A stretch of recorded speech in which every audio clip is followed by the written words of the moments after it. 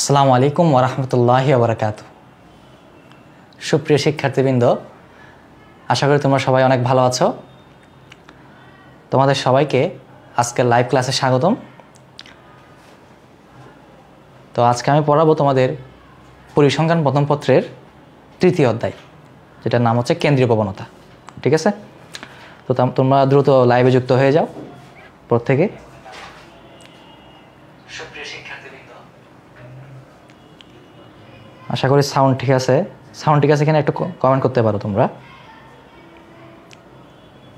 এবং সব দেখা আশা করি দেখা যাচ্ছে, ঠিক আছে? এই যে আমি দেখতে পাচ্ছি। ক্লিয়ার আছে? সাউন্ড আশা করি ক্লিয়ার আছে।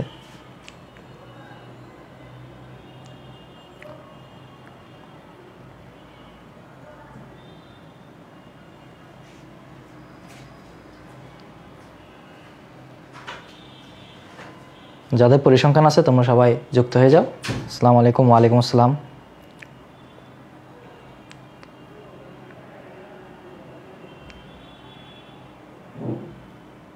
আজকে আমাদের অধ্যায়ের নাম হচ্ছে কেন্দ্রীয় প্রবণতা এটা হচ্ছে তৃতীয় অধ্যায়, পরিসংখ্যান প্রথম পত্রের।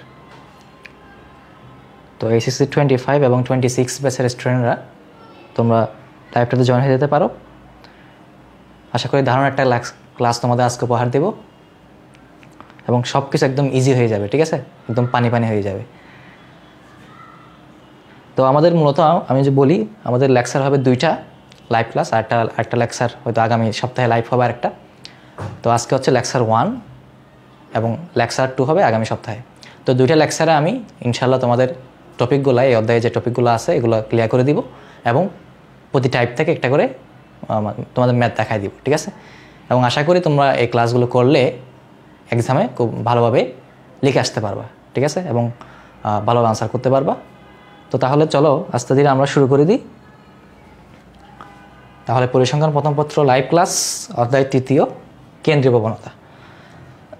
তাহলে লেকচার ওয়ান তো প্রথমে হচ্ছে কি, যেহেতু অধ্যায়ের নাম কি?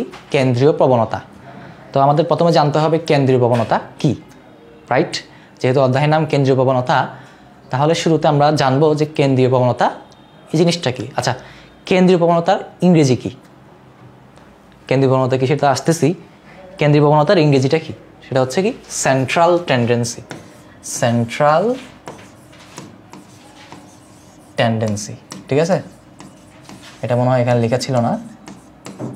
তো এটা জেনে রাখো যে কেন্দ্রীয় প্রবণতার ইংরেজি হচ্ছে সেন্ট্রাল টেন্ডেন্সি তো দেখো, কোনো একটি নিবেশন বা তথ্য সারিতে অনেকগুলো মান থাকে এবং তার একটি মান কেন্দ্রে থাকে। অর্থাৎ অনেকগুলো মান থাকে আমাদের তথ্য সারিতে তার মধ্যে কেন্দ্রে একটা মান থাকে।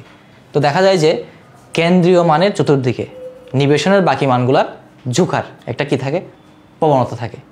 তো কেন্দ্রীয় মানের দিকে নিবেশনের যে বাকি মানগুলো আছে এগুলো ঝুঁকার একটা কি থাকে? প্রবণতা থাকে। এটাই হচ্ছে কেন্দ্রীয় প্রবণতা। ধরো, একটা বাস্তব এক্সাম্পল দিই। বলো, আমাদের বাংলাদেশ, আমরা বাংলাদেশে বসবাস করি। তো বাংলাদেশের রাজধানীর নাম কি? ঢাকা। বাংলাদেশের রাজধানীর নাম কি? ঢাকা। ঠিক আছে? তো ঢাকা হচ্ছে আমাদের ক্যাপিটাল। ঢাকা হচ্ছে আমাদের কি? ক্যাপিটাল বা রাজধানী। এটা ধরতে পারো, অনেকটা দেশের মাঝামাঝিতে অবস্থান করতেছে, কেন্দ্রে অবস্থান করতেছে। তো দেখা যায় কি, ঢাকার জনসংখ্যা কিন্তু অন্যান্য শহরের তুলনায় অনেক বেশি।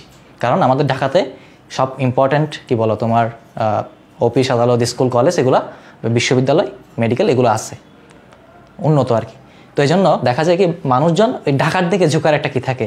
যে কি আমাদের রাজধানী ঢাকার দিকে ঝুঁকার একটা কি থাকে? প্রবণতা থাকে। ঠিক আছে? যে বাকি শহরগুলার, বাকি শহরের মানুষগুলার দেখা যায় কি এই ঢাকা শহরের দিকে উন্নত লাইফস্টাইলের জন্য ঝুঁকার একটা কি থাকে? প্রবণতা থাকে। ঠিক আছে? ঠিক তেমন এখানে দেখা যায় কি একটা তথ্য সারিতে অনেকগুলো মান থাকে। তো তার মধ্যে একটা মান থাকে কেন্দ্রে, একটা কেন্দ্রীয় মান থাকে। ওই কেন্দ্রীয় মানের দিকে বাকি মানগুলো একটা ঝুঁকার কি থাকে? প্রবণতা থাকে, ঠিক আছে? ঠিক আছে? বা যে, তাহলে দেখো, কেন্দ্রীয় মানের চতুর্দিকে নিবেশনের বাকি মানগুলো একত্রিত বা ঘনীভূতভাবে থাকতে চায়।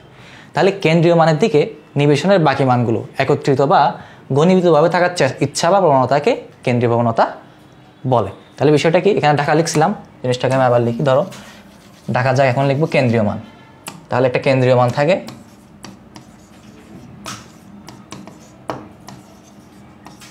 এই কেন্দ্রীয় মানের দিকে বাকি মানগুলোর একটা কি থাকবে? জোকার প্রবণতা থাকবে, ঠিক আছে? তাহলে এই যে এটাই হচ্ছে তোমার কি? কেন্দ্রীয় প্রবণতা। খুব সিম্পল একটা সংজ্ঞা, এটা ক নাম্বার আসতে পারে, ঠিক আছে? তাহলে এই যে, তাহলে বাকি মানগুলো একত্রিত বা ঘনীভূতভাবে থাকার ইচ্ছা বা প্রবণতাকে কি বলা হয়? কেন্দ্রীয় প্রবণতা বলা হয়। তো কেন্দ্রীয় প্রবণতার ইংরেজি কি বলছিলাম? সেন্ট্রাল টেন্ডেন্সি ওয়ালাইকুম আসসালাম। তোমরা বাকিরা আস্তে আস্তে যুক্ত হয়ে যাও।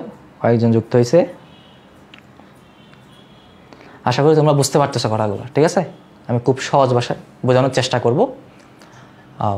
আশা করি ক্লাসটা শেষ হয়ে, শেষ করার পর তোমরা বুঝতে পারবা যে আসলে তোমরা দেখবা যে ভালো মতো কী করতে পারবা। টপিকগুলো যখন পড়বা, অনেক ইজি লাগবে তোমাদের ইনশাল্লাহ তাহলে আসো, এটা আমি মুছে ফেলব। তাহলে কেন্দ্রীয় প্রবণতা কি? এটা বোঝা গেল। আচ্ছা একটা এক্সাম্পল দিই প্রয়োজনে, ধরো। ধরো, একজন মানুষের বয়স ধরো, আমি দুইজন মানুষের বয়স। একজন মানুষের বয়স ধরো আটচল্লিশ। তারপর আরেকজন মানুষের বয়স ধরো তিপ্পান্ন বা এরকম, ঠিক আছে?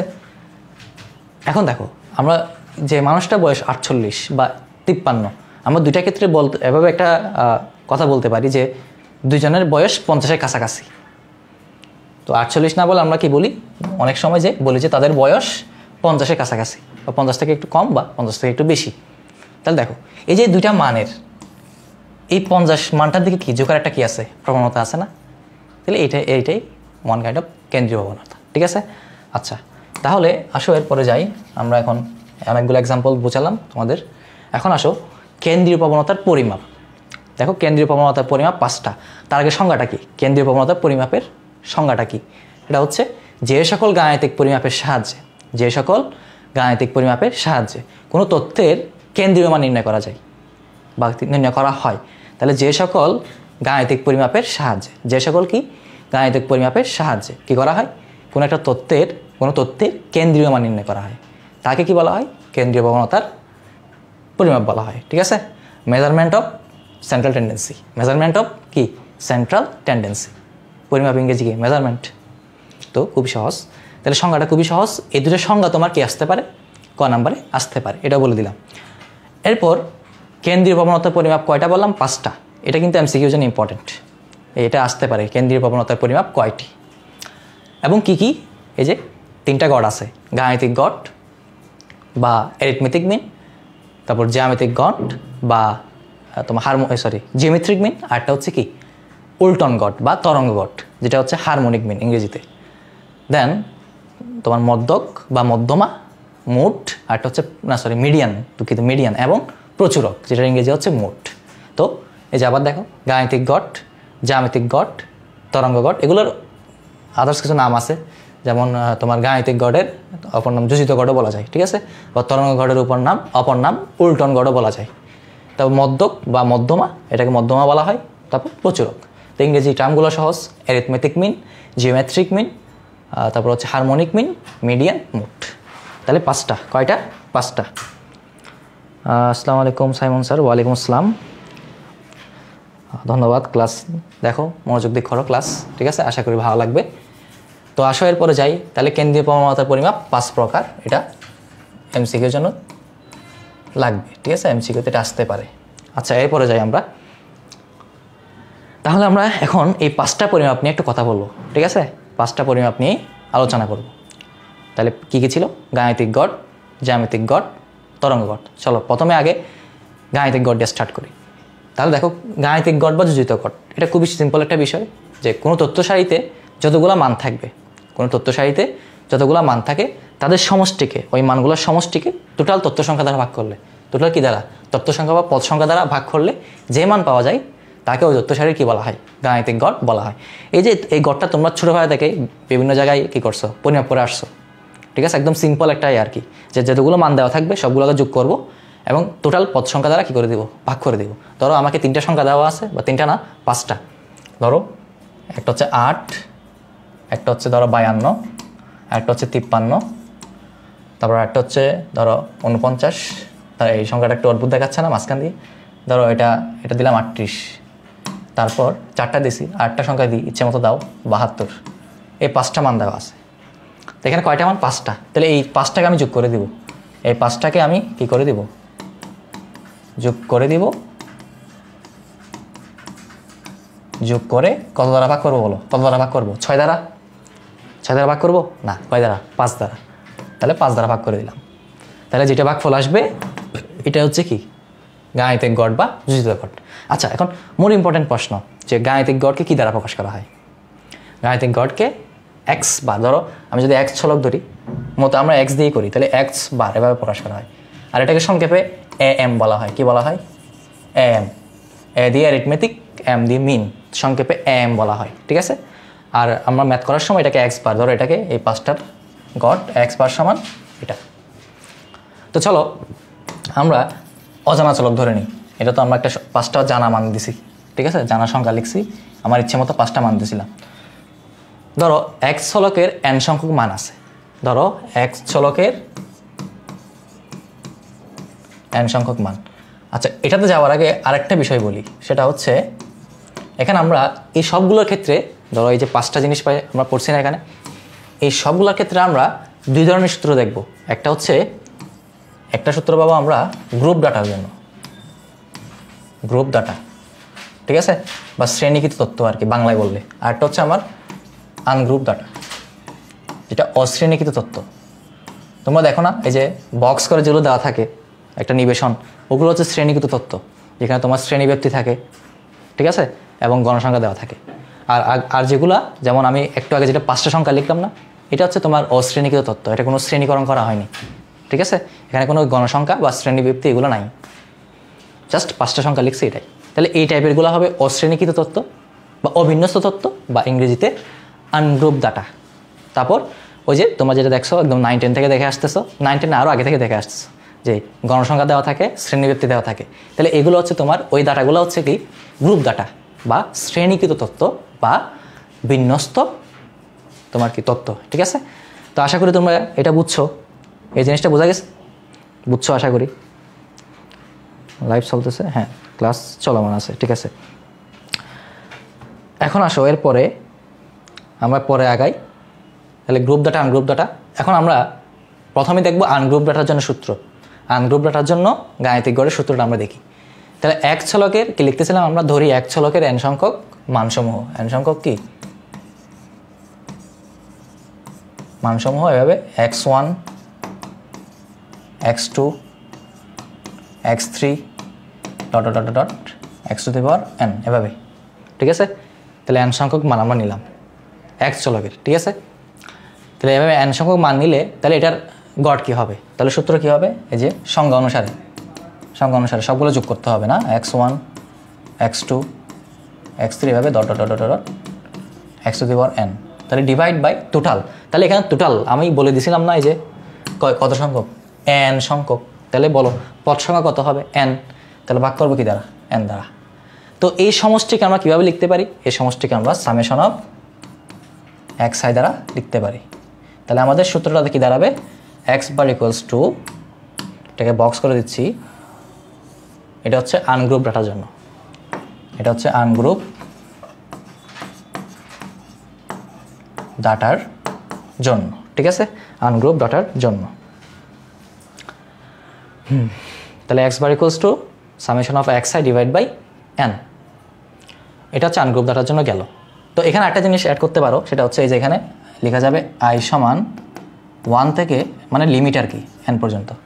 এখানে যেহেতু এন সংখ্যক ধরছি, তাহলে আই সমান ওয়ান থেকে এন এটা লিমিট ধরো আমি পাঁচটা মান নিতাম, তাহলে আই সমান ওয়ান থেকে ফাইভ যদি আমি দশটা মান নিতাম ওয়ান এদিকে লিখতাম টেন বা এটা না লিখলেও তোমার সমস্যা নেই, লিখতে পারো এটা। লিমিটটা লিখে দিতে পারো। তাহলে এই হচ্ছে বিষয়। তাহলে আনগ্রুপ ডাটা গেল। বুঝছ? ক্লিয়ার আচ্ছা অল ক্লিয়ার এখন আসো, এরপরে যাই আমরা তাহলে আনগ্রুপ এখন গ্রুপ ডাটার জন্য যাব। এটা ছিল আনগ্রুপ ডাটার জন্য। তাহলে গ্রুপ ডাটার জন্য ফর্মুলা কী হবে? তাহলে আমি এটা এখানে মুছতেছি। গ্রুপ ডাটা বেলায় দেখো আচ্ছা এটা পুরোটাই মুছি আমি। এখন আসো। গ্রুপ ডাটা বেলায় খেয়াল করো, আমাদের কি থাকে? এই যে শ্রেণীব্যাপ্তি থাকে মানে অনেকগুলো শ্রেণি থাকে। ঠিক আছে? কয়েকটা শ্রেণি তারপর ওই শ্রেণীগুলো কী থাকে? প্রত্যেকটা শ্রেণির গণসংখ্যা থাকে। তো শ্রেণি আমার এখানে এক্ষেত্রে যদি আমাকে শ্রেণীব্যক্তি দেওয়া থাকে, বুঝো? যদি আমাকে শ্রেণীব্যক্তি দেওয়া থাকে, আমার দেওয়া থাকে না এরকম, এই যে তিরিশ থেকে পঁয়ত্রিশ, তারপর ধরো পঁয়ত্রিশ থেকে চল্লিশ, এই টাইপের কী দেওয়া থাকে? শ্রেণীব্যক্তি দেওয়া থাকে না? যদি যদি ভাবে দেওয়া থাকে আর কি, তখন আমার এটার এক্ষেত্রে আমার নিব কি? মধ্যমানটা নিব, মধ্যবিন্দু, শ্রেণি মধ্যবিন্দু নিব। কি নিব? শ্রেণি মধ্যবিন্দু। শ্রেণি কী নিব? মধ্যবিন্দু। যদি আমাকে শ্রেণীব্যাপ্তি দেওয়া থাকে, তো শ্রেণি মধ্যবিন্দু কীভাবে নিবে? কীভাবে নিব? এই যে লোয়েস্ট মান প্লাস হাইয়েস্ট মান। অর্থাৎ লোয়ার মানে শ্রেণির নিম্ন মানটা নিব আর উচ্চ মানটা নিব। এটাকে দুই দ্বারা ভাগ করে দিব। তাহলে আমি কি পেয়ে যাব? মধ্যবিন্দু পেয়ে যাব। এবং ওটাকে আমরা এক্স দ্বারা প্রকাশ করব এখানে। ওটাকে আমরা কি দ্বারা প্রকাশ করব? এক্স দ্বারা প্রকাশ করব। ক্লিয়ার আর আরটা হচ্ছে তোমার গণসংখ্যা। আরটা কি? গণসংখ্যা। তাহলে গণসংখ্যাকে আমরা প্রকাশ করব অ্যাপ দ্বারা। গণসংখ্যাকে অ্যাপ দ্বারা। ফ্রিকোয়েন্সি ইংরেজিতে কি হয়? ফ্রিকোয়েন্সি ঠিক আছে? ইংরেজিতে কি হয়? ফ্রিকোয়েন্সি আর যদি এভাবে থাকে, ধরো শ্রেণি অন্যভাবেও থাকতে পারে, এমনও থাকতে পারে, ধরো একটা এভাবে দিছে। কিছু কিছু ক্ষেত্রে আবার শ্রেণীবৃত্তি না দিয়ে শুধুমাত্র একটা সংখ্যা দিয়ে দিতে পারে। ধরো চল্লিশ, পঁয়তাল্লিশ। ধরো একটা একটা মানে কি, ধরো মানে একটা গ্রুপের মধ্যে চল্লিশ বছর বয়সের মানুষ আছে, ধরো ছয়জন পঁয়তাল্লিশ বছর বয়সের মানুষ আছে সাতজন এভাবে একটা ডাটা দেওয়া আছে। তাহলে এখানে কোনো রেঞ্জ দেওয়া হয়নি শ্রেণীব্যক্তি দেওয়া হয়নি জাস্ট সংখ্যা দিছে। তখন এটাকে আমরা এক্স ধরবো। তখন এটাই এক্স হবে। আর যদি কথাগুলো বুঝো, আর যদি এভাবে শ্রেণীব্যক্তি দেওয়া থাকে, তখন আমি সেটাকে এই লোয়ার লিমিট আপার লিমিট যোগ করে দুই ভাগ করে দেব। নিম্ন সীমা, উচ্চ সীমা যোগ করে দুই ভাগ করে দেব। তাইলে কাজ শেষ। আচ্ছা তাহলে বুঝছ এখন? তাহলে এখানেও ধরো এন সংখ্যক মান আমরা ধরতে পারি এন সংখ্যক শ্রেণি, এবং সেগুলোর মধ্যবিন্দু হবে কি? X one x two x three dot dot dot dot x n এবং ধরো এই, তোমার এন সংখ্যক শ্রেণি তো? এন সংখ্যক শ্রেণির মধ্যবিন্দু এভাবে চিন্তা করলাম। তো এন সংখ্যক শ্রেণির গণসংখ্যা থাকবে না? গণসংখ্যা কী হবে? F one f two f three এভাবে এভাবে হবে। ঠিক আছে? এন সংখ্যক। এখন আসো, তাহলে এটা ক্ষেত্রে সূত্র কী হবে? এটা যেহেতু কি? এটা এটা তো গ্রুপ ডাটা এর আগে আমরা দেখাছিলাম কি? আনগ্রুপ ডাটার জন্য। তাহলে গ্রুপ ডাটার ক্ষেত্রে ফর্মুলাটা কি হবে? দেখো। দেখে নাও। তাহলে এটা হবে কি? X bar equals to summation of f i x i divide by এখানে। এখানে আমরা নিচে দিব মানে ক্যাপিটাল এন আমরা দেখো আনগ্রুপ ডাটা কি পড়ছিলাম যে x bar equals to summation of x i divide by n তাহলে এখানে এন এখানে এখানে স্মল এন দিছিলাম মানে টোটাল পদ সংখ্যা। আর এখানে তোমাকে ক্যাপিটাল এন আচ্ছা এই ক্যাপিটাল এন মানে কি? বোঝাবে। এই ক্যাপিটাল এন দ্বারা কি বোঝানো হবে? এটা দ্বারা বোঝানো হবে টোটাল গণ ফ্রিকোয়েন্সি টোটাল ফ্রিকোয়েন্সি অর্থাৎ মোট গণসংখ্যা। মোট কি? গণসংখ্যা। তোমাকে যে বিভিন্ন শ্রেণি গণসংখ্যা দেওয়া থাকবে না, তো সবগুলো যোগ করলে যে গণসংখ্যাটা পাবা, সেটা হচ্ছে টোটাল গণসংখ্যা, মোট গণসংখ্যা আর কি। তো ওটাই হচ্ছে এন ওটাই হচ্ছে কি ক্যাপিটাল এন বুঝতে পারছি? তো এখানে ক্যাপিটাল এন দ্বারা ভাগ করতে হবে, অর্থাৎ টোটাল ফ্রিকোয়েন্সি দ্বারা কী করতে হবে? ভাগ করতে হবে। তো এটাকে এভাবে লেখা যায় চাইলে ধরো, এই যে এন সমান কি লেখা যাবে? এন সমান সামেশন অফ এফ আই লিখলে ভুল হবে হবে না, কারণ এফ দ্বারা কি বোঝানো হয়? গণসংখ্যা। তো গণসংখ্যার সমষ্টি হচ্ছে কি? এন বা এটাকে এন দ্বারা প্রকাশ করা হচ্ছে। ঠিক আছে? তো দেখো খুব সহজ বিষয় এখানে, কঠিন কিছু নেই। তো আমি যদি একটু রিভিউ করি, তাহলে গাণিতিক গড কাকে বলে? এটা এগুলো জ্ঞানমূলক প্রশ্ন আসবে, বা আসতে পারে আর কি। তো কোনো তথ্য সারিতে কোনো তথ্য সারিতে যতগুলো মান থাকে, তাদের সমষ্টিকে মোট কি দ্বারা পদ সংখ্যা দ্বারা ভাগ করলে যে যেটা পাওয়া যায় সেটা হচ্ছে কি? গাণিতিক গট বা যুজিত গট বা অ্যারিথমেটিক মিন এটাকে সংক্ষেপে এম বলে এবং এটাকে এক্স বার দ্বারা প্রকাশ করা হয়। এতটুকু ক্লিয়ার তারপর আমরা আনগ্রুপ ডাটার জন্য সূত্র পাইছিলাম এটা এবং গ্রুপ ডাটার জন্য সূত্র পাইছি কোনটা? এটা। ব্যাস। এখানে এফ মানে আছে ফ্রিকোয়েন্সি এক্স মানে ওই যে মধ্যবিন্দুগুলো। প্রত্যেকটা শ্রেণির মধ্যবিন্দু। যদি শ্রেণীব্যক্তি দেওয়া থাকে আমাদের ম্যাক্সিমাম আমাদের প্রশ্নগুলোতে আসলে শ্রেণীব্যক্তি দেওয়া থাকবে। বুঝতে পারছ? ওইভাবে ওইভাবে আসবে না। মানে যে একটা একটা, এটা ওইভাবে থাকবে না। রেঞ্জ দিয়ে থাকবে। আর একটা হচ্ছে তোমার কি? আনগ্রুপ ডাটা আনগ্রুপ ডাটা বেলায় এক্স মানে হচ্ছে কি?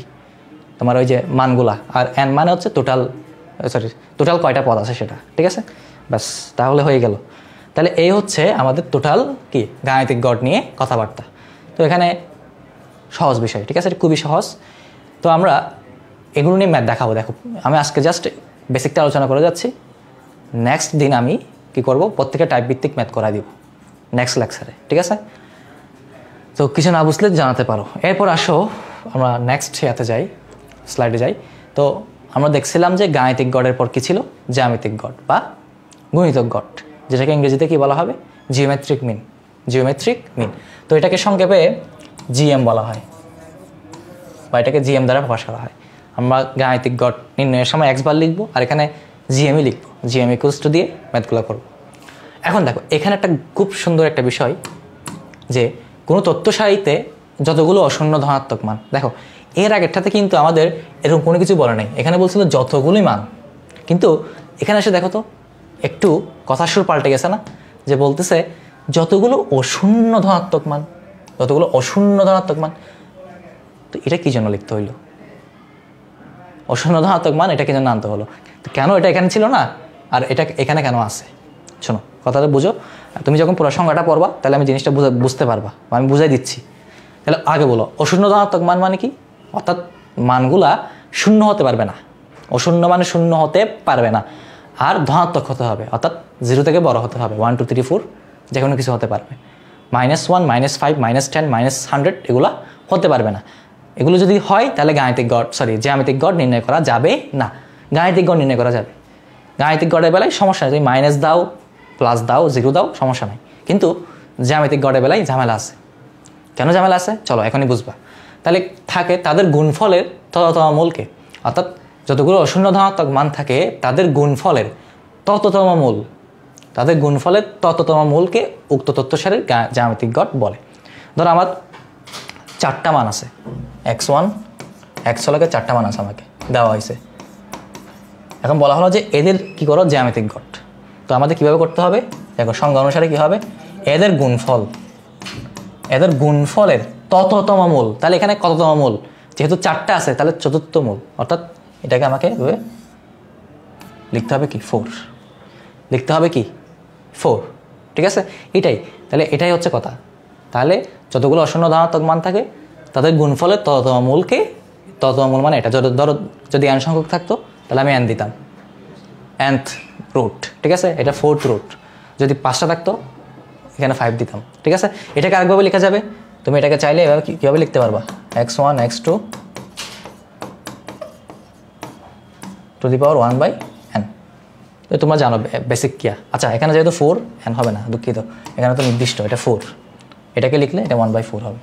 এখানে এন থাকলে এখানে ওয়ান বাই এন হবে। যদি এন সংখ্যক এন সংখ্যক মান থাকে আর কি। ঠিক আছে? এখন আসো, এই যে এটা একটু ডিসক্রাইব করি। কেন কেন অশূন্য ধনাত্মক মান বলছে? কেন অশূন্য ধনাত্মক মান বলা হয়েছে?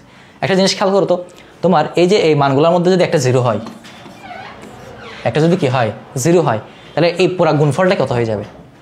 পুরা গুণফলটাই জিরো হয়ে যাবে। জিরো হয়ে গেলে সেটা আর তোমার যত তুমি মূল্য মূল্য নাও না কেন আনসার জিরোই আসবে। আনসার কি আসবে? জিরোই আসবে। বুঝতে পারছি? তো এই জন্য জিরো হতে পারবে না। এবার যদি মাইনাস নাও, এখানে যেহেতু যেখানে একটা যদি মাইনাস হয়, তোমার মাইনাস ধরো মাইনাস ওয়ান তাহলে এটা পুরোটা কী হবে? যে একটা মাইনাস হলে সবগুলো কী হয়ে যাবে? মাইনাস হয়ে যাবে না। কী হয়ে যাবে? মাইনাস হয়ে যাবে না। তো মাইনাস হয়ে গেলে ঝামেলা কি? তোমার ওটা আর রুট করা যাবে না। মাইনাস থাকলে আর কি করা যাবে না? রুট করা যাবে না। এই জন্য এখানে কি বলছে? যে অশূন্য ধনাত্মক মান হতে হবে। জ্যামিতিক গড় নির্ণয় করতে হলে। তো প্রত্যেকগুলো, সবগুলো মান কি হতে হবে। অশূন্য ধনাত্মক হতে হবে। অর্থাৎ শূন্য হতে পারবে না এবং ধনাত্মক হতে হবে। জিরো থেকে টোটাল কথা? মানগুলো জিরো থেকে বড় হতে হবে। শেষ কথা। জিরো সমান হতে পারবে না। জিরো থেকে বড় হতে পারবে, জিরো হতে পারবে না এবং জিরো থেকে ছোটও হতে পারবে না। ঠিক আছে? মুবিন, ওয়ালাইকুম আসসালাম। ক্লাস কেমন লাগতেছে একটু জানাও, জানাতে পারো তোমরা। ঠিক আছে? যারা ক্লাস দেখতেছো, ক্লাস কেমন লাগতেছে? কমেন্টে জানাই দাও। ঠিক আছে? আমরা তাহলে আগাই। কেন অশূন্য ধনাত্মক মান হতে পারবে না? এটা আশা করি তোমাদের বুঝাতে পারছি। তাহলে এই জন্য এগুলো বসালে এই এই সমস্যা হয়। এটা বসালে কি হবে না? তুমি ওই যে সঙ্গ অনুসারে করতে পারবে না? মূলটা নির্ণয় করতে পারবে না। এই জন্য অশূন্য ধনাত্মক মান নিতে হবে। কিন্তু এর আগে যেটা ছিল, এটার বেলায় আমার কি নাই? ওরকম কোনো শর্ত নাই। এখানে যতগুলো মান, সেটা এটা শূন্য হোক, ধনাত্মক হোক, ঋণাত্মক হোক নো প্রবলেম ঠিক আছে? তাহলে এখন দেখো আচ্ছা এটা কোন এটা কোন ডাটার বেলায়? আমি যদি আন সংখ্যক নিতাম, তাহলে সূত্রটা কী হইতো?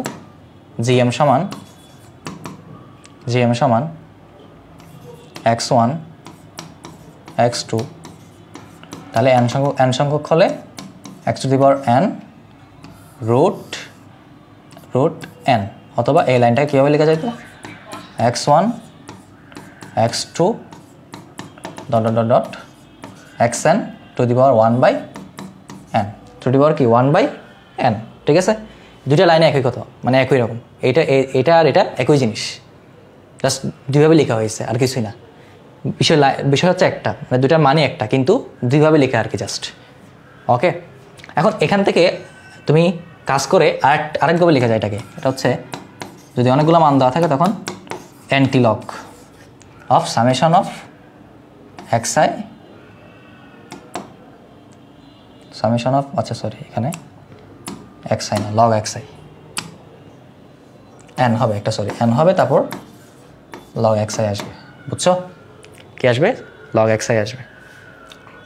এন এন না এটা ওয়ান বাই এন এটা ওয়ান বাই এন হবে আগে একটু দাঁড়াও দুঃখিত। তাহলে one by n log x i ঠিক আছে? এভাবে লেখা যায়। এটাকে এভাবে লেখা যায় তারপর এটা এভাবে লেখা যায়, ঠিক আছে? দুইভাবে করা যাবে। যদি তোমার ধরো দুই দুই তিনটা মান দিছে, তাহলে তুমি ইজিলি এভাবে অ্যান রূপ দিয়ে করতে পারবা। আর যদি অনেকগুলো মান দেওয়া থাকে, তখন এই ফর্মেটে করা যাবে। আর অ্যান্টিলক কীভাবে করে আসলে? অ্যান্টিলক মানে আসলে কি? লগের উল্টা। উল্টাটা। অ্যান্টিলক মানে কি? লগের বিপরীত। এটাকে মূলত ধরো তোমাকে কোনো একটা সংখ্যাকে লক অ্যান্টিলক করতে বলছে। ধরো তুমি এই এই পার্টটা বের করছ। এই পার্টটা বের করার পর তুমি অ্যান্টিলক করতে পারতেছো না। কারণ তুমি জানতেছো না যে, বুঝতেছো না যে কীভাবে অ্যান্টিলক করে। অ্যান্টিলক করে এভাবে। একদম সিম্পল মনে রাখো। অনেক জায়গাতে রাখতে পারে। টেন টু দি পাওয়ার এটা বসাই দিব তাহলে অ্যান্টিলক হয়ে গেছে। মনে থাকবে কি বলছি? টেন টু দি পাওয়ার তুমি যাকে অ্যান্টিলক করতে চাচ্ছ, তুমি এই পার্টটাকে কী করতে চাচ্ছ? এই পার্টটাকে তোমার অ্যান্টিলক করতে হবে। তো এই অ্যান্টিলক করার জন্য এটা তুমি আগে মান বের করবা, তারপর ওটাকে টেন টু দি পাওয়ার ওটাকে টেনের পাওয়ার হিসেবে বসাই দিবা। তাহলে যেটা আনসার আসবে সেটাই অ্যান্টিলক মানে এটা আনসার হবে। ইকুয়ালস টু বোঝাতে পারছি? বোঝাতে পারছি? তাহলে আশা করি তোমরা এটা বুঝছ। এখন আসো এরপরে। এটা তো আনগ্রুপ ডাটার জন্য। এতক্ষণ যেগুলো এখানে কিচ্ছা কাহিনী হইল, এটা কিসের জন্য? আনগ্রুপ ডাটার জন্য। আনগ্রুপ ডাটা বা অশ্রেণীকৃত তথ্যের জন্য। এখন আমরা এদিকে দেখব, এই পাশে আমরা কি দেখব? শ্রেণীকৃত তথ্যের জন্য কি হবে? বা গ্রুপ ডাটার জন্য কি হবে? তো শ্রেণীকৃত তথ্য কি জিনিস? অলরেডি তোমাদের একবার বলে ফেলছি, গাণিতিক গল্প বোঝানোর সময়। তোমরা আশা করি বুঝছ বিষয়টা। তো শ্রেণীগত তথ্যের বেলায় কি থাকবে? ওই যে মধ্যবিন্দু এক্স ওয়ান এক্স টু এভাবে যাবে। আর ফ্রিকোয়েন্সি হবে কি? ফ্রিকোয়েন্সি হবে ফ্রিকোয়েন্সিকে অ্যাপ দ্বারা প্রকাশ করা হবে। ঠিক আছে? তো যদি এন সংখ্যক হয়, তো ওখানে পার্থক্য কি দেখো? ওখানে জিনিসটা হবে এরকম। জি এম সমান রুট এক্স আই এফ আইটা পাওয়ার হিসেবে আসবে। ঠিক আছে? X two f two x three f three এভাবে পাওয়ার হিসেবে পাওয়ার আকারে আসবে। বুঝছ? এভাবে dot dot dot dot dot যদি এন সংখ্যক হয় x four sorry x n to the power f n ঠিক আছে? টু দি পাওয়ার কি? এফ এন তাহলে এটা হচ্ছে এরকম। তাহলে এবার এটাকে তুমি যদি ইয়া করে লিখো, এই এই ফর্মেটে লিখতে চাইলে, তখন এটা রুটটা নিয়ে ফেলব। রুটটাকে পাওয়ার হিসেবে নিয়ে আসব। জাস্ট বেসিক একটা বিষয় ম্যাথের এক্স টু এফ টু না x to the power f x two to the power f two x three to the power f three এটা কিন্তু দি পাওয়ার ঠিক আছে? এটা পাওয়ার হিসেবে এফ ওয়ান এফ টু এগুলো। এটা ওয়ান এটা one into dot dot dot x n to the power f n to the power one by এই আচ্ছা এখানে ইয়া দিনে আমি। এই খেয়াল করো, এখানে কিন্তু আমি, এখানে কি ছিল স্মল এন এখানে হবে ক্যাপিটাল এন ক্যাপিটাল এন দ্বারা কি বলছিলাম গত, এর আগের স্লাইডে যে টোটাল ফ্রিকোয়েন্সি টোটাল কি? ফ্রিকোয়েন্সি তো এখানে কি হবে? টোটাল ফ্রিকোয়েন্সি হবে। তো এখানে ওয়ান বাই এন এটাকে সামনে নিয়ে আসলে রুটটাকে যদি পাওয়ার হিসেবে নিয়ে আসি, এখানে ফাইভ থাকলে ওয়ান বাই ফাইভ এন থাকলে ওয়ান বাই এন পাওয়ার কী হবে? ওয়ান বাই এন হবে। এখন আরেকটা ফরম্যাট পাবো, এটার মতো। তাহলে এখানে অ্যান্টিলক অ্যান্টিলক সামেশন অফ এখানে হবে, এখানে একটা ইয়ে আসবে। ওয়ান বাই এন থাকবে ওয়ান বাই এন থাকবে ওয়ান বাই এখানে হবে ক্যাপিটাল এন তারপর f f i log x i ঠিক আছে? আমরা মূলত এই আমাদের যেগুলো ম্যাথ আসবে পরীক্ষায়, আমরা দেখাবো, আগামী দিন দেখাবো। এই যে এই ফরম্যাট এই ম্যাথটা এই লাইনটা দিয়ে করতে হবে আর কি তোমায় বক্স করতে হবে বক্স করে লগ এক্স আইয়ের মান নির্ণয় করতে হবে। তো তোমাকে ফ্রিকোয়েন্সি দেওয়া থাকবে, আর টোটাল এন মানে কি? টোটাল কি? টোটাল কি? গণসংখ্যা টোটাল ফ্রিকোয়েন্সি ঠিক আছে? আর অ্যান্টিলগ কীভাবে করতে হয়? একটু আগে বললাম। তো এখানে কি হবে? প্রথমে আমরা এতটুকু বের করব। তো এই যে, এতটুকু পার্ট এটা আমরা বের করে ফেলব। এটা আমি বসানোর পর ক্যালকুলেটার কি করে দিব? টেন টু দিব আর এখানে তুমি যে ভ্যালুটা পাবা, এটা বসাই দিবা। তাহলে যেটা আনসার আসবে, যেটা তুমি ভ্যালু পাবা, এটা হচ্ছে আনসার ওটাই হচ্ছে কি? জিএম এর মান। ওটাই হবে কিসের মান? জিএম এর মান। তো আশা করি তোমরা জ্যামিতিক গট বা গুণিতক গট বা জিওমেট্রিক মিন কি বুঝতে পারছ? তো জিওমেট্রিক মিনকে জিএম দ্বারা প্রকাশ করা হয়। কী দ্বারা প্রকাশ করা হয়, জিএম দ্বারা। তাহলে আমাদের দুইটা গড নিয়ে আমি আলোচনা করে ফেলছি। এখন আসো এর পরেরটা। তাহলে দুইটা গড নিয়ে কী হয়ে গেছে? আলোচনা হয়ে গেল। এরপর আসো নেক্সট নেক্সট হচ্ছে কি? তরঙ্গ গট তরঙ্গ গট বা হারমোনিক মোশন সরি মোশন বলছি। হারমোনিক মিন মোশনকে যেন চলে আসছে? আচ্ছা মোশন হচ্ছে একটা মোশন আছে। তোমার কি বলে? সিম্পল হারমোনিক মোশন আর কি। সহজ স্পন্দন গতি। সায়েন্সে বলে আমার এটা বুঝবে। যারা সায়েন্স নিয়ে পড়ছে নাইন টেনে মোটামুটি কেউ যদি পড়ে থাকো আর কি, তাহলে এটা বুঝবা। ওইটা একটা মোশন আসলে ফিজিক্স পড়ানো হয়তো অনেক জায়গায়, এটা আসলে মানে ওই কি বলে না, তোমার স্লিপ অফ টাঙ্ক আচ্ছা তাহলে আসো হারমোনিক মিন তরঙ্গগট তাহলে তোমার তরঙ্গটের ইংরেজি হচ্ছে কি? হারমোনিক মিন এবং এটার অপর নাম হচ্ছে উল্টন গট কি গট উল্টন গট মানে এটা উল্টা করে করতে হয়। দেখো তাহলে কোনো তথ্য সারিতে যতগুলো অশূন্য মান থাকে, এখানেও দেখো, এখানেও কিন্তু এখানেও কিন্তু এই ইয়াটা আছে, এখানেও কিন্তু একটা শর্ত আছে, সেটা কি? এখানেও অশূন্য মান হতে হবে, ঠিক আছে? অশূন্য মান থাকে তাদের উল্টো মানের, তাদের উল্টা মানের গাণিতিক গড়ের, দেখো, তাদেরকে উল্টাতে হবে, দেখো, যতগুলো মান থাকবে তাদেরকে উল্টাতে হবে, আবার ওগুলো উল্টানোর পর, তাদের উল্টানো উল্টানো, উল্টা মানের গাণিতিক গড়ের উল্টা মানকে, দেখো, কথা একটু বুঝো কঠিন না, দেখো, আমি একবার বলি যতগুলো অশূন্য মান থাকে, তাদের উল্টা মানের। অর্থাৎ ধরো, আমার পাঁচটা মান দেওয়া আছে। এক্স ওয়ান, পাঁচটা বা- তিনটে ধরো ধরো, তিনটে মান দেওয়া আছে। X one, x two, x three. এক ছলকে তিনটা মান। তো তাদের উল্টা মান কী হবে? তাদের উল্টা মান হবে one by x one one by x two, one by x three.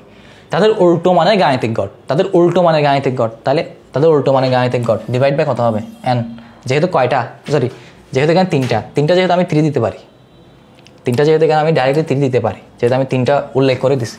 যদি অ্যান সংখ্যক হইতো, তাহলে ডিভাইড বাই অ্যান বলতাম। তাদের গাণিতিক গড়ের উল্টা মানে গাণিতিক গড়ের উল্টা মান, অর্থাৎ এটাকে উল্টা ফেলতে হবে আবার। আচ্ছা ধরো আমি অ্যান সংখ্যক দিয়ে দেখাই দিই একসাথে। এটাকে উল্টা ফেলতে হবে, অর্থাৎ এটাকে উল্টা দিলে কী হবে আসলে? এটাকে উল্টা দিলে থ্রি উপরে চলে যাবে, নিচে হবে one by x one one by x two one by x three বুঝছ? এখন ধর আমি এন সংখ্যক দিয়ে বুঝাই বিষয়টা। এখন তিনটা ধরে দেখাইছিলাম, এখন দেখাবো অ্যান সংখ্যক। তাহলে এন সংখ্যক মান x one x two x three x four এতগুলো লেখার দরকার ছিল না। এক্স ফোর পর্যন্ত লিখে তারপর ডট ডট দিলে হয়ে যাচ্ছে। এক্স এন তো এটাকে যদি আমি তাহলে সংজ্ঞা অনুসারে করি, তাহলে সবগুলার যোগফল সমষ্টি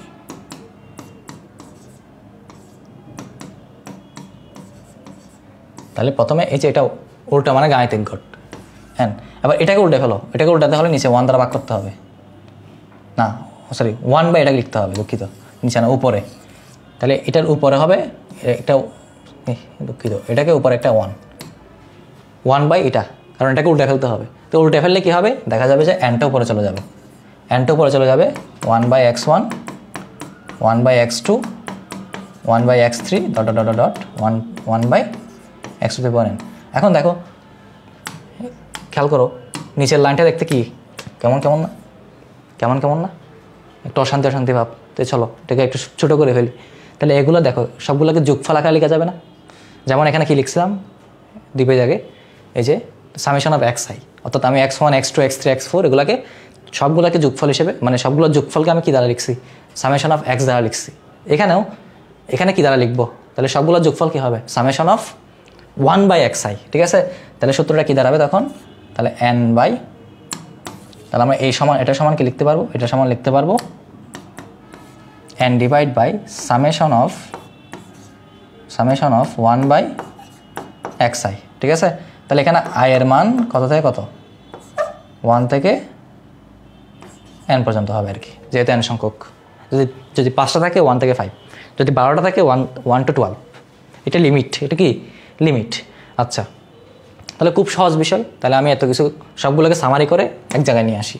তাহলে আমরা, দেখো, বাচ্চারা, তাহলে এর আগে যে দুটা ইয়া দেখাইছি, এখানে আমি অবশ্য একটা কি করছি প্রথমে? আনগ্রুপ গ্রুপ এর আগে আগেরটাও কী ছিল? এই আনগ্রুপ গ্রুপ তাহলে এখানেও কি থাকবে? এটা কি ব্যতিক্রম হবে? না, এটা ব্যতিক্রম হবে না। এখানেও ঠিক সেম দুইটাই ফর্মুলা পাবো। একটা গ্রুপ ডাটার জন্য একটা কি? আনগ্রুপ ডাটার জন্য। তবে আমাদের সিকিউর জন্য আসলে আনগ্রুপ ডাটাগুলোই লাগবে সরি গ্রুপ ডাটাগুলো লাগবে বেশি। সিকিউতে। আর আনগ্রুপ ডাটা যেগুলো সূত্র পড়তেছো এগুলো এমসিকিউতে লাগবে। কোথায় কী লাগবে সেটা বলে দিচ্ছি। ঠিক আছে? ওকে, আসো। তাহলে আমরা এখানে, এটা কি পড়লাম এতক্ষণ? এটা দেখো, এখানে কোথাও আমার ফ্রিকোয়েন্সির কথা বলছি। বলি নাই, তো ফ্রিকোয়েন্সি যেখানে নাই, সেটা কি? সেটা আনগ্রুপ ডাটা। যদি ফ্রিকোয়েন্সির কথা আসতো, তাহলে বুঝে নিতাম কি? সেটা কি হতো সেটা গ্রুপ ডাটা হইতো। তো চলো ফ্রিকোয়েন্সিকে টেনে নিয়ে আসি গ্রুপ ডাটাকেও স্বাগতম জানাই। তাহলে আনগ্রুপ ডাটাটা আমি সামারি করে লিখে দিচ্ছি। তাহলে আনগ্রুপ ডাটাটা কি হবে? আচ্ছা হ্যাঁ ভালো কথা। তরঙ্গগট হারমোনিক মিন তোমরাই বলো আমাকে যে এটাকে আমরা কী দ্বারা প্রকাশ করব?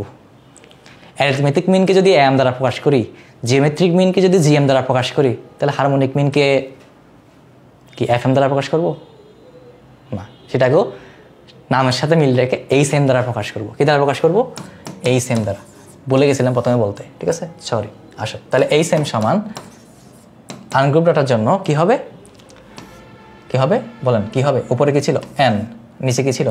Summation of one by x i one by x i তাহলে এই যে নামের সাথে মিলে আছে না? উল্টা গট। তরঙ্গ গটের উপর অপর নাম কি? উল্টন গট।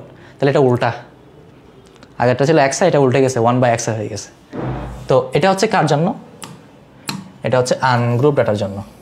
সুন্দর করে বক্স করে লিখে দিচ্ছি, আনগ্রুপ ডাটার জন্য। এবার আসেন, গ্রুপ ডাটার জন্য কি হবে? জানতে ইচ্ছা করতেছে কি না ঠিক আছে, অপেক্ষা করাবো না, এখনই বলে দিচ্ছি। তাহলে এই সেম সমান এই সেম সমান উপরে হবে, দেখেন, আপনারাই বলেন, এর আগে যতগুলো করছি, যখন যখন আনগ্রুপ ছিল তখন স্মল এন যখন গ্রুপে চলে আসছে, তখন কী হয়ে গেছে? ক্যাপিটাল এন আর আগেরটা তো দেখেন সেম কিচ্ছা কাহিনী। তো এখানেও কী হবে? এখানে কি ব্যতিক্রম হবে? না, এখানেও সেমই হবে। এখানে উপরে হয়ে যাবে কি? ক্যাপিটাল এন তো এখানে এন মানে কি ছিল? টোটাল ইয়ার সংখ্যাটা। কিন্তু এখানে এই এন মানে কি বোঝাই? টোটাল গণসংখ্যা টোটাল কি? গণসংখ্যা টোটাল ফ্রিকোয়েন্সি তো এখানে নিচে কি হবে বলেন তো? আপনারাই বলেন কি হতে পারে? কেন হবে কি? F i divide by x i ব্যাস। এই একই জায়গায়, একই প্রায় সেমই ঠিক আছে? তো এগুলো জাস্ট প্র্যাকটিস করলে এমনি মনে থাকবে। প্র্যাকটিস করলে এগুলো বলার সুযোগ নেই। তো এটা হচ্ছে কার জন্য জানি? এটা হচ্ছে কি? গ্রুপ ডাটার জন্য। কিসের জন্য? গ্রুপ ডাটার জন্য। অর্থাৎ বাংলা বললে কি জানি? শ্রেণীকৃত আরও কি বলা যায়? বিন্যস্ত তত্ত্ব ঠিক আছে? তো আমরা তিনটা গড়ের যখন গ্রুপ ডাটা হবে, তখন কি সূত্র? যখন আনগ্রুপ ডাটা হবে, তখন কি সূত্র? তিনটা গড়ের বেলায় আমরা দেখে নিছি, ঠিক আছে? দেখে নিছি। তো আশা করি তোমরা এতটুকু পর্যন্ত খুব ভালো মতো বুঝতে পারছ। এখন আসো, সুন্দর একটা জিনিস বলি, খুব সুন্দর একটা সম্পর্ক বলি, সেটা হচ্ছে, কি বলব, সুন্দর সম্পর্কটা কি? কালো কালার দিয়ে বলি। তাহলে সেটা হচ্ছে এম আচ্ছা বলেন তো, এই তিনটা গড়ের মধ্যে কোন গড়ের মান সবচেয়ে বেশি? কোনটা? এম, ঠিক আছে?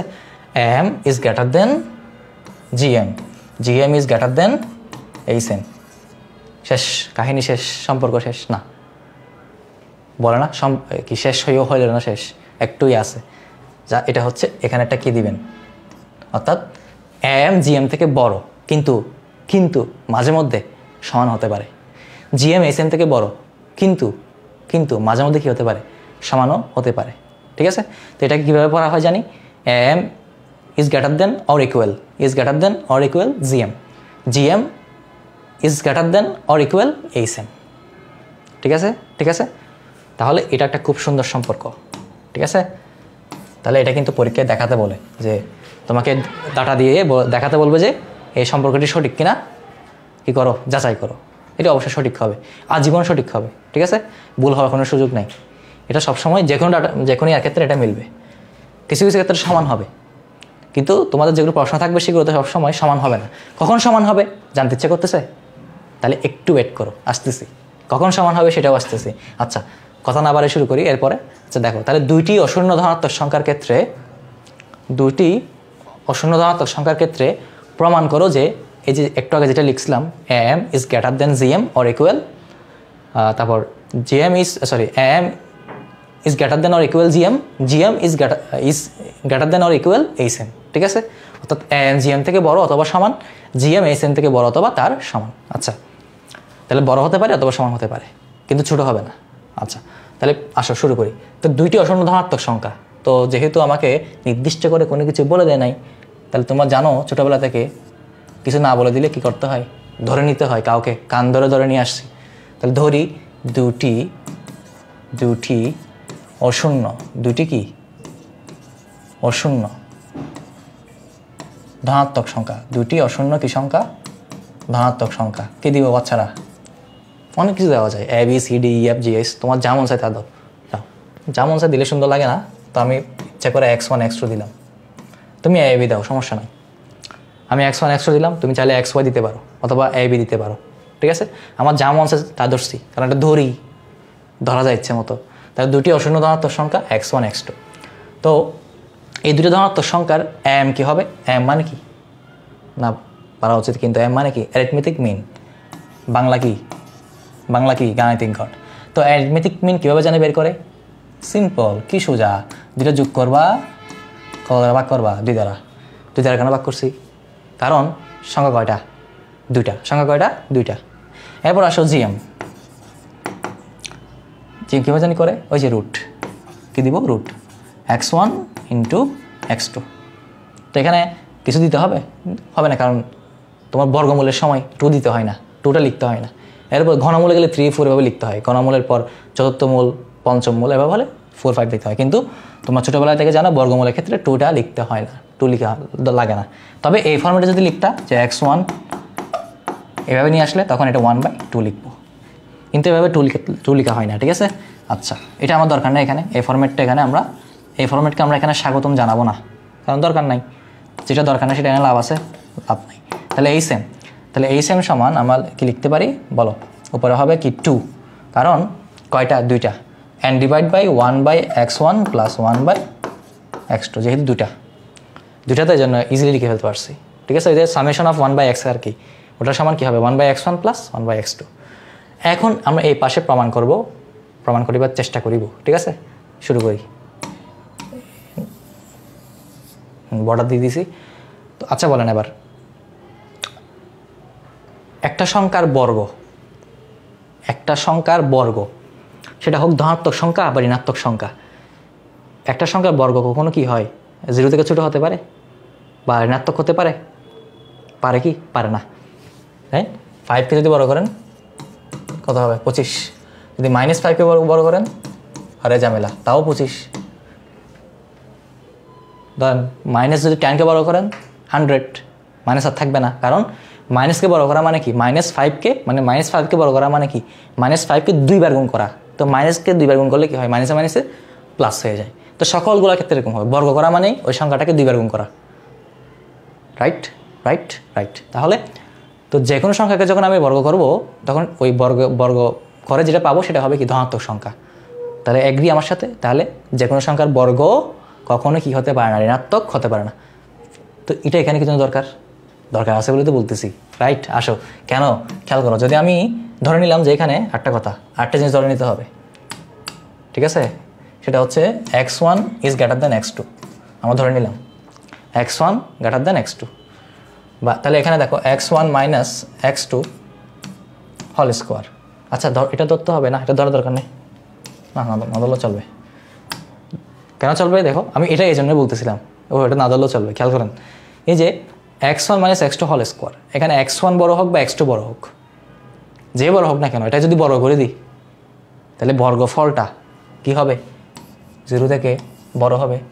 অ্যাগ্রি অর ডাই এটা অবশ্যই অ্যাগ্রি করতে হবে। কারণ এই যে এতক্ষণ যেটা চিল্লালাম, ওই জন্যই চিল্লাইছি যে কোনো সংখ্যার বর্গ। তাই আমি এই- দুটো সংখ্যাকে বিয়োগ করলে, এই দুটো সংখ্যাকে বিয়োগ করলে কি পাবো? আটটা সংখ্যা পাবো না।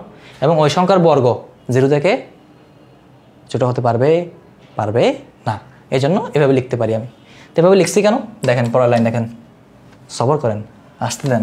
তাহলে এটাকে আমরা কি লিখতে পারি? ছোটোবেলা সেই সূত্র নাইন টেনে পড়ছেন। এ মাইনাস বি হল স্কোয়ার সমান। এ প্লাস বি হল square minus a plus b হল square minus four a b খুব সুন্দর সূত্র। এখন আমরা কি করব? পরের লাইনে উভয় পক্ষে four x one x two যোগ করব। তাহলে উভয় পক্ষে যদি four x one x two যোগ করি, তাহলে এই পাশ থেকে এটা চলে যাবে, কারণ প্লাস আর মাইনাসের যুগ বিয়োগ হয়ে মাইনাস হয়ে যাবে মানে এটা জিরো হয়ে যাবে।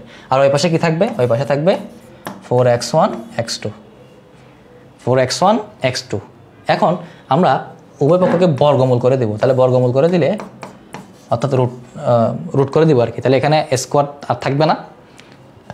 এদিকে কি চলে আসবে? Two x one x two বুঝছেন? বোঝা গেছে?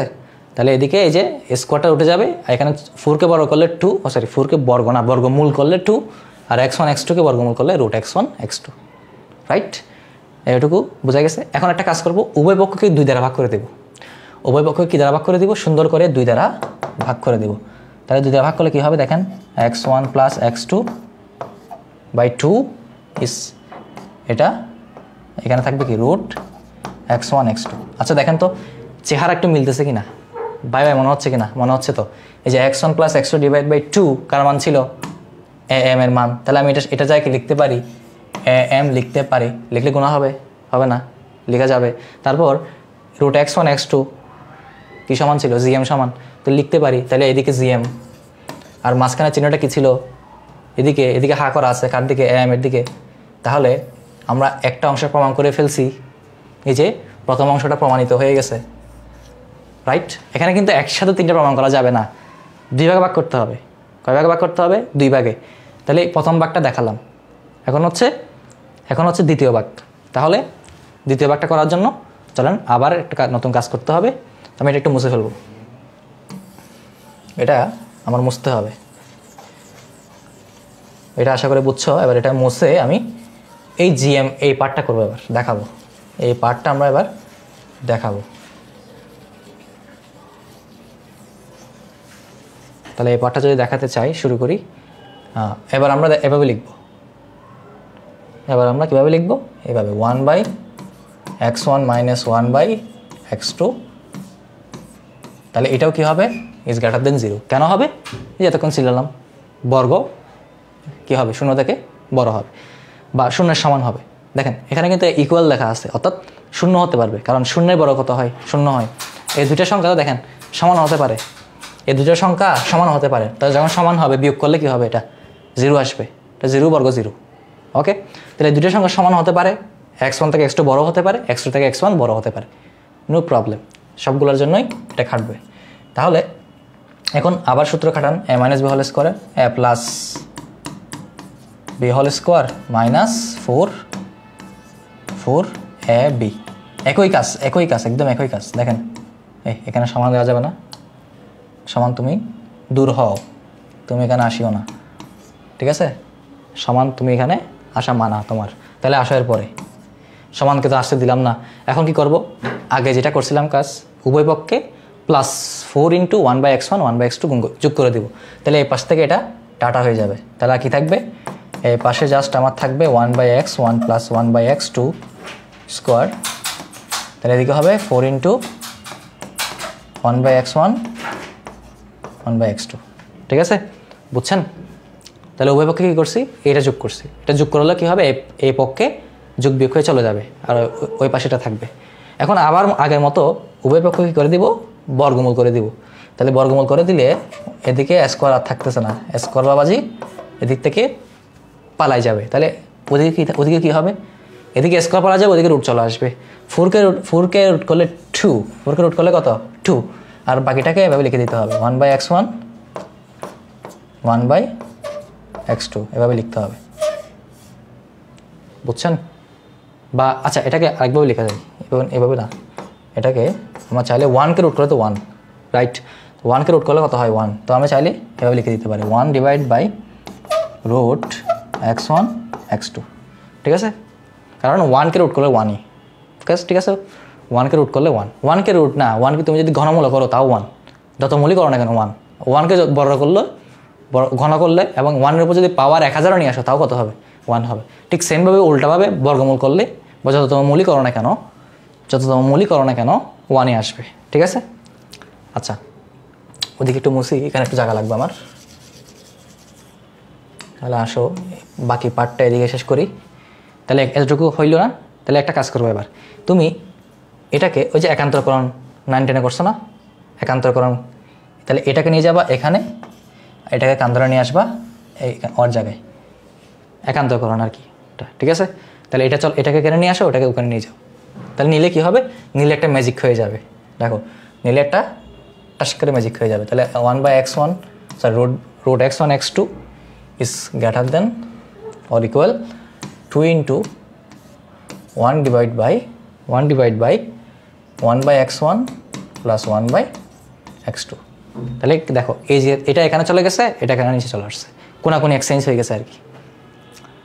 কোনাকুনি এক্সচেঞ্জ হয়ে গেছে। তাহলে এখানে এখানে কিন্তু সমান দেওয়া যাবে না, ঠিক আছে? এইভাবে। তাহলে এখন হলো কি, দেখো, আবার দেয় যে, মনে হচ্ছে না চেহারা মিলমিল। Root x one x two মানে কি GM R two by one by x one আর টুটা দেখো আচ্ছা বেচারা টুটাকে আলাদা আলাদা সিঙ্গেল লাগতেছে তারে মিঙ্গেল বানাই দিই, উপরে নিয়ে যাও। তারে উপরে নিয়ে যাও। নিয়ে গেলাম উপরে খুব সুন্দর করে নিয়ে গেছি। তাহলে এখন আরও সুন্দর হয়ে গেছে দেখতে। এখন একদম ভাই ভাই মনে হচ্ছে। প্রথমে একটু কি মনে হচ্ছিল? খালাদা ভাই ভাই মনে হচ্ছিল। এখন ডাইরেক্ট ভাই ভাই ভাই মনে হচ্ছে। তাহলে দেখো, তাহলে এটা আর এটা কি হইল? সেম হইল। তাহলে আমরা এখানে এটার জায়গায় সরাসরি কি লিখতে পারব? এই সেম আর এটার জায়গায় জিএম তাহলে কি হয়ে গেল? GM is greater than or equal এই সেম তাহলে আমরা প্রথম অংশে এটা প্রমাণ করছিলাম। এখন এই অংশে আমরা এটা প্রমাণ করে ফেলছি। তাহলে দুটাকে একত্রিত করে কি লেখা যাবে? দুটাকে একত্রিত করে লেখা যাবে যে সুতরাং সুতরাং M is is greater than or equal GM কি লিখলাম? তাহলে জিএম এই সেম এখানে এই দুটো দিবা। এটা প্রমাণিত। ওকে এটা হচ্ছে কি? প্রমাণিত। তাহলে খুব সুন্দর মতো এটা হয়ে গেল। তাহলে আমরা এরপরে যাই। কথা না বাড়াবো কথা বাড়াবো না। আচ্ছা এটা খালি। এরপর আসেন। তাহলে দুটি অশূন্য ধনাত্মক সংখ্যার ক্ষেত্রে প্রমাণ করো যে, এম ইন্টু জিএম সমান এস এম স্কোয়ার এটা দেখেন আচ্ছা আমরা একটু আগে দুটো দুটো ধনাত্মক সংখ্যা ধরে নিয়েছিলাম না? তাহলে এম সমান হয় কি? চট করে একটু লিখে ফেলি। ঠিক আছে, কথা বাড়াবো না এবার যেহেতু একবার বলছি, এটাকে আবার এক্সপ্লেন করার দরকার নেই। সেম জিনিসই, ঠিক আছে? একদম সেম জিনিস। তাহলে টু বাই এটা। তাহলে এখন এম ইন্টু জিএম তাহলে এম ইন্টু জিএম গুণ করেন, বাম পক্ষে গুণ করেন। তাহলে গুণ করলে কি হবে? X one plus x two divide by two into GM হচ্ছে কি? জিএম হচ্ছে কি? এটা একটা সম্পর্ক। আচ্ছা একটা কথা বলি নেই যে এখানে এটা হচ্ছে একটা, এখানে একটু ভুল হয়েছে ও সরি এটা একটু ভুল হয়েছে আমি তো বলি। এখানে ভুল হয়েছে একটু সরি এম ইন্টু জিএম না তো? এম ইন্টু এস এম হবে যে। সরি স্যার আপনারা এটা একটু কারেকশন করে নেবেন। এটা এটা এখানে একটু ভুল আছে। এটা হবে এরকম যে এম ইন্টু এইচ এম সমান জিএম স্কোয়ার বুঝছেন? এই মাঝে মধ্যে এটা একটু টাইপিং মিস্টেক হয়েছে, ঠিক আছে? দুঃখিত। আচ্ছা সমস্যা আমি ঠিক করে দিছি তাহলে এটা হবে কি এম ইন্টু এইচ এম সমান জিএম স্কোয়ার তো চলেন, তাহলে এম ইন্টু এইচ এম গুণ করি বামপক্ষে এম ইন্টু এইচ এম তাহলে এম হচ্ছে কত? X one into into two divide by one by x one তাহলে এখানে দেখেন উপরে নিচে টু টু কাটাকাটি গেল। মানে বাক হয়ে গেছে আর কি। কাটাকাটি মানে কি আসলে? বাক হয়ে যাওয়া। তাহলে এখন কি থাকে? উপরে থাকে x one plus x two নিচে থাকে one by x one one by x two আচ্ছা তাহলে এখন একটা কাজ করি, নিচে লসাগু নেন। লসাগু নিলে x one x two x one plus x two ঠিক আছে? লসাগু নিচ্ছি আর কি। লসাগু কী হবে? এক্স ওয়ান এক্স টু তারপর একটু ছোটোবেলার ম্যাথ বাক করে দিলে এক্স টু থাকবে উপরে, তারপর এখানে বাক করে দিলে এক্স ওয়ান থাকবে উপরে। তো আমি সাদা লিখে ফেলছি একসাথে। X one plus x two দেন, যুগের বেলায় দুই যোগ পাঁচ সমান কত? সাত। পাঁচ যোগ দুই সমান কত? আট। না, ওটাও সাত। তো যুগের বেলায় আগে যা আগে দেন বা পরে দেন ডাজন্ট ম্যাটার বিয়োগের ক্ষেত্রে ম্যাটার করে কিন্তু। যুগের ক্ষেত্রে ম্যাটার করে না। গুণের ক্ষেত্রে ম্যাটার করে না। তো এই জন্য আমি x two plus x one যে কথা x one plus x two একই কথা। তো উপরে থাকবে x one plus x two এখন দেখেন আপনারা বুঝে যাচ্ছেন কী করতে হবে পরে লাইন বাঘটাকে উল্টা দিতে হবে। তাহলে বাঘটাকে উল্টা দিলে কী হবে? গুণ করে ফেললে x one plus x two নিচে চলে যাবে। তারপর এক্স ওয়ান এক্স টু উপরে চলে আসবে। রাইট যেহেতু এটি বাঁকাকারে ছিল, তাহলে গুণ করে দিলে কি হয়? লব হর হয়ে যায় হর লব হয়ে যায়। তো এই কাজটা করছি। এখন বলেন এখানে কি হবে? এটা এটা কাটাকাটি যাবে। তাহলে আর কি থাকবে? তাহলে সুন্দর মতো আর এক্স ওয়ান এক্স টু থাকবে। তো দেখেন জিএম মানে কি? Root x one x two না? তো তুমি যদি এটাকে বড় করো, তুমি যদি এটাকে বড় করো রুট এক্স ওয়ান এক্স টুকে যদি বড় করে দাও, তাহলে কি হবে? এক্স ওয়ান এক্স টু হবে না? হবে কি না? হবে। তো তার মানে কি? এক্স ওয়ান এক্স টু মানে কি আসলে? জিএম স্কোয়ার কি স্কোয়ার জিএম স্কোয়ার দেখেন, তাহলে দেখে নেন সুন্দর মতো। আর একটা সুন্দর প্রমাণ দেখাই দিছি। দুটা প্রমাণ আমাদের দেখাই দিলাম। তাহলে খুব আশা করি এটা ইজিলি বুঝতে পারছেন। এরপর আসেন। কখন এম সমান, জি এম সমান এইচ এম। এটা একটু ছোটো করে বলে দিচ্ছি। এটা হচ্ছে এমন, ধরুন আপনি যদি কখন আসলে এই তিনটা সমান হবে? যখন আপনি ধরেন কতগুলো মান নিছেন? চারটা মান নিছেন। চারটা মানই একই নিছেন। ধরেন পাঁচ পাঁচ পাঁচ পাঁচ। চারটায় পাঁচ নিছেন। যখন একই সংখ্যক মান নেবেন সবগুলা মানে একই রকম মান নেবেন, তখন দেখা যাবে যে এদের এম জিএম এবং এইচ এম তিনটা কী হবে? সমান হবে। তিনটা কী হবে? সমান হবে। তাহলে সমান হলে দেখেন কেন সমান হচ্ছে। এদের এম সমান কী হবে? তাহলে চারটা যোগ করেন। ফাইভ ফাইভ ফাইভ ফাইভ যোগ করলে এটাকে কত বিভাগ করতে হবে? চার। তাহলে দশ, পনেরো, বিশ। বিশকে চার বিভাগ করলে কত হবে? পাঁচ। বিশকে চার দিয়ে ভাগ করলে কত হবে? পাঁচ। তারপর জিএম তাহলে জিএম এক্ষেত্রে five into five into five into five তো এটাকে আমি কি করতে পারি? রোড না ডাইরেক্ট লিখে দিই। ওয়ান বাই ওয়ান বাই কত? ফোর ফোর ওয়ান বাই কত হবে? ফোর ফাইভ না। এখন বলেন তো একটা জিনিস, চারটা পাইকে গুণ করলে এটাকে কি লেখা যাবে? Five to the power four লেখা যাবে না? আমি একটু আগে তো বললাম, ধরো আমি যখন দুইটা গুণ করি, তখন স্কোয়ার লিখি। তিনটা গুণ করলে, ধরো এখানে ফাইভ তিনটা গুণ করলে ফাইভ কিউব ফাইভ চারটা গুণ করলে five to the power four তো এটার উপর ওয়ান বাই কত? ফোর তাহলে বলেন ক্লাস নাইন, টেনের সূচকের ম্যাথ পড়ছেন না, তাহলে এরকম যদি থাকে, তাহলে এই পাওয়ার এই পাওয়ার কি হয়? গুণ হয় না? তাহলে চারকে এক এক দুই, এক বাই চার দ্বারা গুণ করেন, তাহলে এটা কাটাকাটি যাবে। কি থাকবে আর? Five to the power one তাহলে five to the power one মানে কি? ফাইভ তাহলে এম যা আসছে জিএমও তাই আসছে। আবার এই সেম তাহলে এই সেম টু ডিভাইড টু না, কয়টা এখানে? চারটা। তাহলে ফোর ভাগ করতে হবে। তাহলে one by five one by five one by five one by five, উপরে হবে চার। এখন বলেন, ওয়ান বাই ফাইভ চারটা গুণ করলে কি লেখা যাবে? চারটা গুণ না, চারটা যোগ করলে four into one by five লেখা যাবে। ফোর ইন্টু কি লেখা যাবে? One by five. আমি যদি দুটো যোগ করতাম, two into one by five. Three, তিনটা যোগ করলে three into one by five. তাহলে উপরে থাকবে ফোর। তো ফোর ফোর কাটাকাটি গেলে ওয়ান বাই ফাইভ উপরে উপরে নিয়ে গেলে কী থাকবে? ফাইভ থাকবে। ওয়ান বাই ফাইভ উপরে নিয়ে গেলে ফাইভ হয়ে যাবে। তাহলে দেখেন, তাহলে কি বুঝলাম? যখন তথ্য সারির প্রত্যেকটা মান একই হবে প্রত্যেকটা মানের প্রত্যেকটা মানে ভ্যালু একই হবে, তখন কি হবে? তখন M G M H M পরস্পর কী হবে?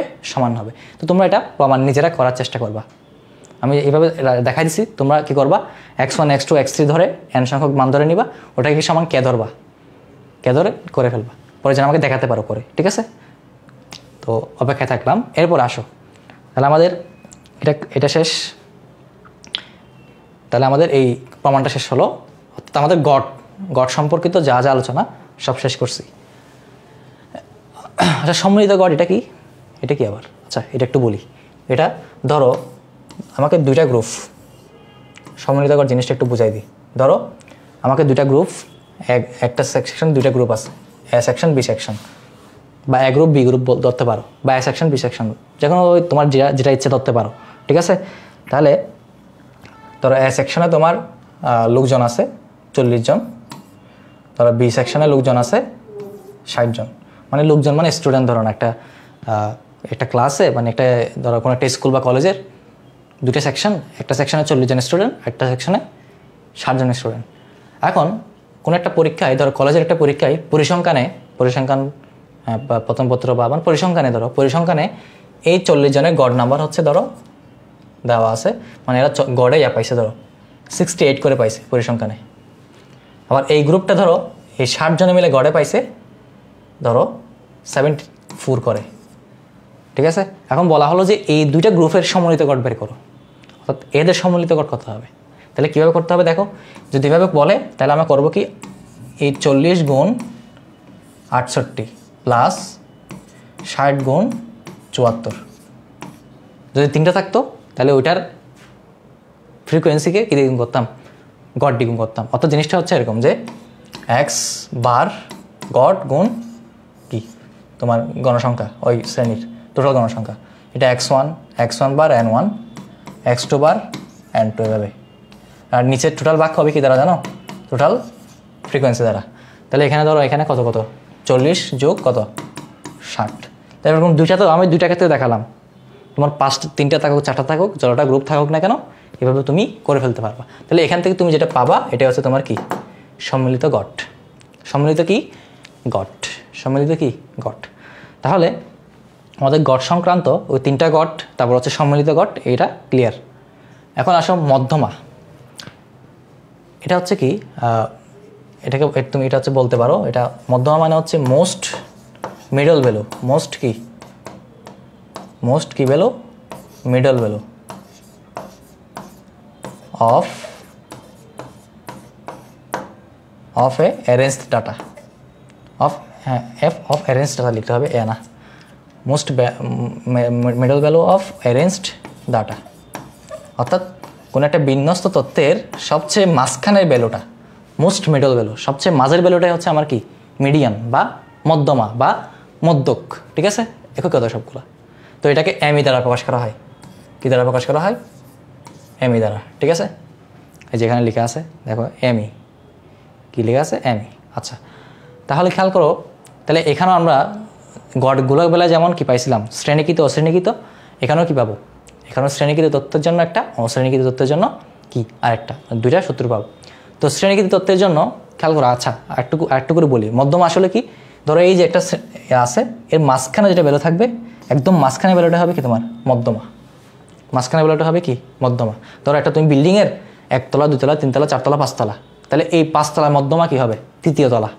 কারণ তৃতীয় তলা তৃতীয় তলা হচ্ছে মাঝখানে। এর উপর দুটো তলা আছে, এর নিচে কয়টা তলা আছে? দুইটা তলা আছে। তাহলে তুমি ওই জায়গায় বলতে পারবা যে তৃতীয় তলা হচ্ছে কি? ওই বিল্ডিংয়ের মধ্যমা। তো ওই সেম টাইপের এখানে কোনো একটা তোমাকে যখন ডাটা দেওয়া থাকবে ডাটার সবচেয়ে মাঝখানে বেরোটাই হচ্ছে আমার কি? মধ্যমা বা মধ্যক। রাইট তো এখানে এই দেখো অ্যারেঞ্জ ডাটা বলা হয়েছে, অর্থাৎ তোমাকে কি করতে হবে? এখানে ডাটা যদি তোমাকে এলোমেলো দেওয়া থাকে, সেটাকে সাজায় ফেলতে হবে। কীভাবে? মানের ঊর্ধ্বক্রমে বা অধক্রমে।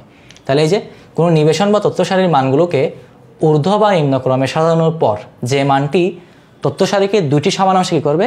ভাগ করবে। যে মানে এদিকে তোমার ফিফটি পার্সেন্ট ভ্যালু থাকবে, ওই মানের এদিকেও কী থাকবে? ফিফটি পার্সেন্ট ভ্যালু থাকবে।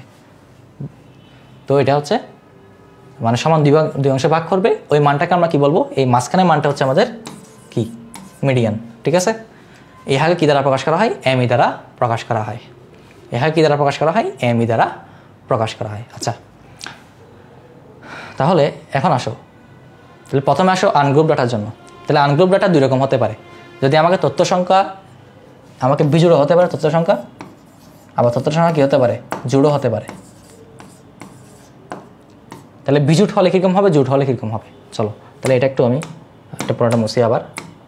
তাহলে বিজুট হলে দেখো, বিজুট হলে এরকম, এই যে এন প্লাস ওয়ানতম রাশি হবে মধ্যমা। যদি বিজুট সংখ্যক কী দেওয়া থাকে? তথ্য সংখ্যা দেওয়া থাকে। তাহলে ওই ক্ষেত্রে এন প্লাস ওয়ানতম দাঁড়া তোমাকে ধরো এলোমেলোভাবে কয়েকটা মান দেওয়া আছে, তুমি প্রথমে ওই মানগুলোকে সাজায় ফেলবা।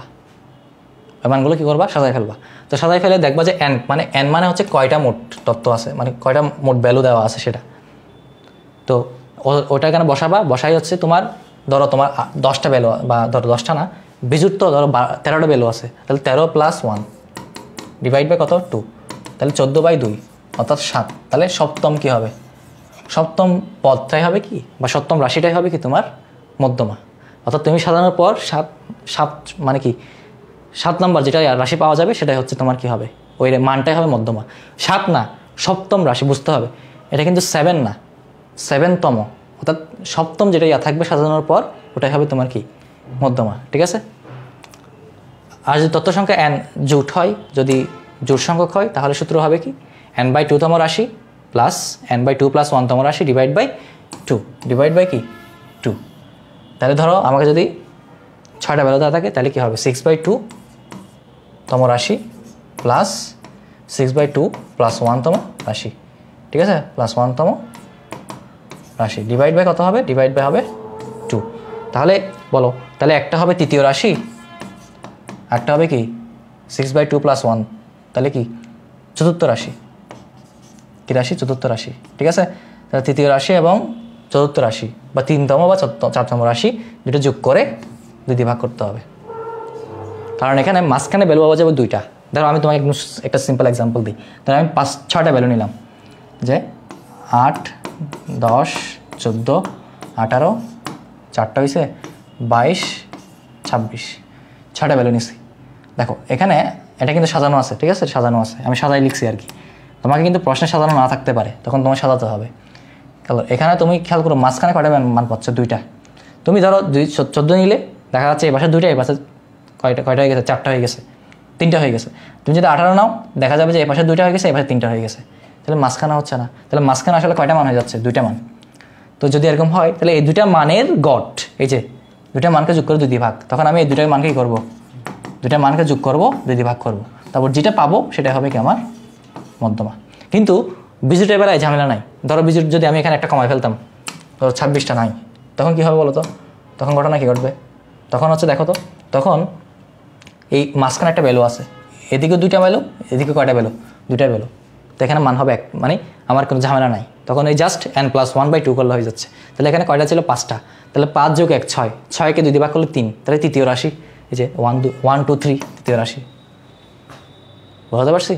তাহলে এখানে আমার মাঝখানে ভ্যালু পাবো একটা। কিন্তু জুট হলে তখন মাঝখানে ভ্যালু দুটো হয়ে যায়। তখন ওই দুটার কি নিতে হয়? কি নিতে হয়? গড় নিতে হয়। ঠিক আছে? আচ্ছা তাহলে আমাদের হয়ে গেল এটা। এটা হচ্ছে অশ্রেণীকৃত তত্ত্বের জন্য কি তত্ত্বের জন্য অশ্রেণীকৃত তত্ত্বের জন্য? শ্রেণীকৃত তত্ত্বের জন্য কি হবে? এটা একটু দেখাই। এই যে মিডিয়ান সমান l plus n by two এটা হ্যাঁ n by two minus f c divide by f m into c তাহলে এগুলো কি? একটু একটু বলতে হবে না? এই জিনিসগুলো কী? চলো, এটা একটু বলি। সবগুলো মুছে দিই আগে। চলো, তাহলে এই সূত্রটা একটু ব্যাখ্যা করি। এটা এখানে এটা এম এ তোমরা কোনো দেখতে পাচ্ছ না, এটা হচ্ছে কি এম এ তাহলে এল মানে কি? এই যে মধ্যমা শ্রেণির নিম্ন সীমা তোমাকে যে শ্রেণীগুলো দেওয়া থাকবে, এটা যেহেতু গ্রুপ ডাটা তোমাকে শ্রেণি দেওয়া থাকবে না, শ্রেণি ব্যক্তি দেওয়া থাকবে না। তো শ্রেণি ব্যক্তি কী হবে? ধরো একটা, তোমার একটা শ্রেণি হচ্ছে এরকম যে চল্লিশ থেকে উনপঞ্চাশ। তাহলে এই শ্রেণির নিম্ন সীমা কত? চল্লিশ। এটাই বলতেছে।